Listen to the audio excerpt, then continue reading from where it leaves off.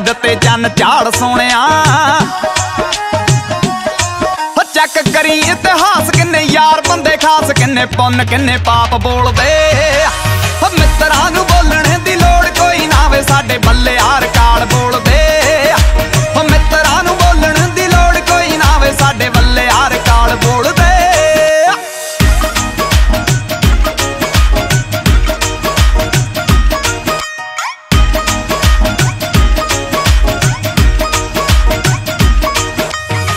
ਜਿੱਥੋਂ ਤੱਕ ਜਾਂਦੇ, ਲੋਕੀ ਤੌਬਾ ਕਰ ਜਾਂਦੇ, ਆਪਾਂ ਉੱਥੋਂ ਸ਼ੁਰੂਆਤ ਕਰੀਦੀ।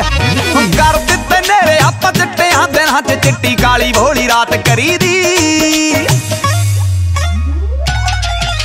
ਹੋ ਜਿੱਥੋਂ ਤੱਕ ਜਾਂਦੇ, ਲੋਕੀ ਤੌਬਾ ਕਰ ਜਾਂਦੇ, ਆਪਾਂ ਉੱਥੋਂ ਸ਼ੁਰੂਆਤ ਕਰੀਦੀ। ਹੁਣ ਕਰ ਦਿੱਤੇ ਨੇਰੇ ਆਪਾਂ ਚਿੱਟਿਆਂ ਦਿਨਾਂ 'ਚ ਚਿੱਟੀ ਕਾਲੀ ਭੋਲੀ ਰਾਤ ਕਰੀਦੀ।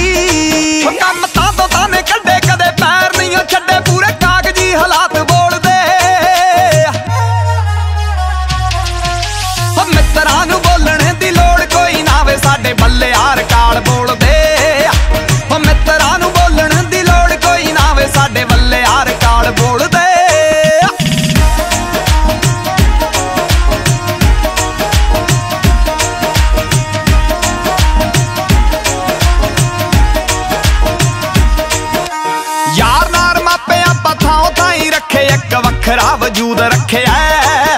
ਉਹ ਨੇੜੇ ਤੇੜੇ ਦਸੀਂ ਪਿੰਡੀ ਲਾ ਦੂ ਜੱਟ, ਅੱਗ ਐਨਾ ਹੈਕ ਚ ਬਰੂਦ ਰੱਖਿਆ। ਖਰੇ ਬੰਦਿਆਂ ਨਾ ਸਾਥ ਦਿੱਤੇ ਕਵਲੀ ਜੱਟ ਵਾਂਝ ਕਹਿ ਕੇ ਵੀਰਾ ਵੀਰਾ ਆਪ ਬੋਲਦੇ। ਉਹ ਮਿੱਤਰਾਂ ਨੂੰ ਬੋਲਣ ਦੀ ਲੋੜ ਕੋਈ ਨਾ ਵੇ ਸਾਡੇ ਵੱਲੇ